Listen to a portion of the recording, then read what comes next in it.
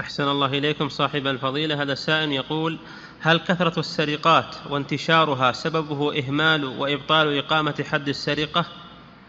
نعم. في هذه البلاد ولله الحمد ما كان تقطع يد السارق خفت خف السرقات. في البلاد الأخرى ما يستقرون ولا على أموالهم ولا يأمنون على أموالهم ولا على بيوتهم. يهجم عليهم وتؤخذ أموالهم. أما في هذه البلاد ولله الحمد فالأمن مستتب.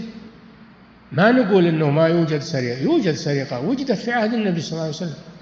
وجدت السرقات في عهد النبي صلى الله عليه وسلم مع أنه يقيم الحدود.